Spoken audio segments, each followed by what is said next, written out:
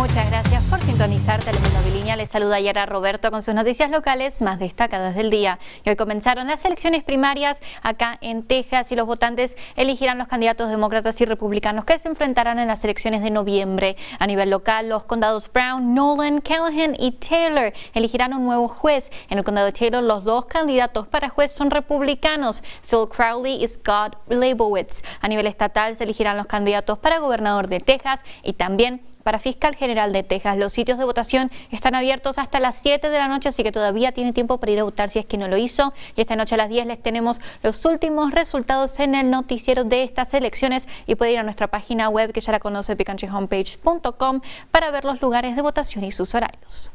Y bueno, miembros de una iglesia en Abilene están ayudando a algunos misionarios en Ucrania que asisten a las víctimas de la guerra y la invasión rusa. Ball y Tatiana, originarios de Ucrania, se mudaron a los Estados Unidos en los años 80 buscando una nueva vida en los años 90 decidieron volver a Ucrania como misioneros y la iglesia local Southern Hills Church of Christ siempre ayudó a esta pareja en su misión y ahora también los apoyan mientras ayudan a los refugiados y víctimas de la guerra que se encuentran en, en el camino. Ellos nos ayudan en lo que pueden, desde ayudarlos a encontrar transporte para salir de Ucrania, dinero, comida y refugio. El líder de la iglesia en Abilene, Bobby Wilson, dice que fue la decisión de los misioneros el quedarse en Ucrania para ayudar. Bob y Tatiana dicen que deja, han estado viajando con estas personas, con estos refugiados, pero que la mayoría de los hombres los frenan en la frontera y es que una batalla constante encontrar refugio y un lugar para dormir.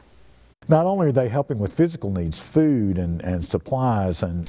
no solo los están ayudando con necesidades físicas, alimentos y suministros y tratando de que la gente cruce la frontera, sino que también están llegando sus necesidades emocionales para alentarlos y estar ahí, ser las manos y los pies de Jesús en ese país, fue lo que dijo Lawson y últimamente se hicieron comparaciones entre el comienzo de la Segunda Guerra Mundial y la invasión rusa a Ucrania y uno de estos argumentos tiene mérito según la doctora Tina Bertrand, la jefa de Ciencias Políticas de la Universidad McMurray, el paralelo entre las acciones de Vladimir Putin durante las últimas semanas y las que tomó Hitler a finales de 1930 cuando hizo referencia a los vínculos históricos de Alemania con Sudetenland, territorio que luego anexó con poco criticismo de la comunidad global. Putin hizo afirmaciones similares sobre los vínculos históricos de Rusia con las partes de Ucrania que reconoció formalmente como territorios rusos antes de su invasión. Él dijo que estos lazos históricos, lazos étnicos y lingüísticos no podían separarse con fronteras trazadas arbitrariamente. Hitler hizo lo mismo y se salió con la suya en la invasión Sudeten y Putin pudo haber asumido que lo mismo pasaría antes del jueves pasado, fue lo que dijo la profesora Tena. El jueves 24 de febrero Rusia comenzó la invasión de Ucrania, la cual recibió mucha resistencia del pueblo ucraniano y de la comunidad global. Y bueno, ahora pasamos al otro estudio con Susana. Muy buenas tardes. Contanos qué temperaturas podemos ver el día de hoy y para esta noche adelante.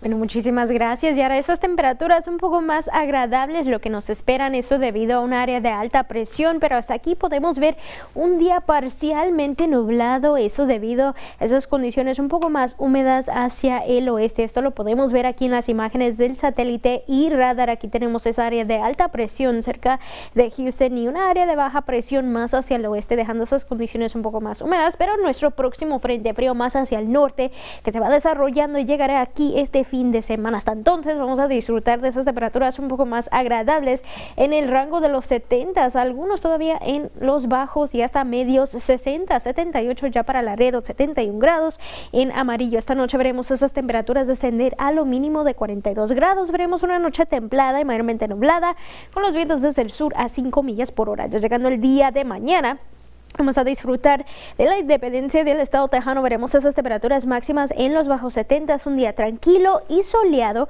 con esos vientos viniendo desde el sur a solo 5 millas por hora. Yara. Gracias Susana por tu información y gracias a ustedes por compartir su tiempo con nosotros. Yo soy Ara Roberto y recuerden seguir nuestro noticiero completo de lunes a viernes de las 5 y 10 de la noche. Que pasen muy buenas tardes.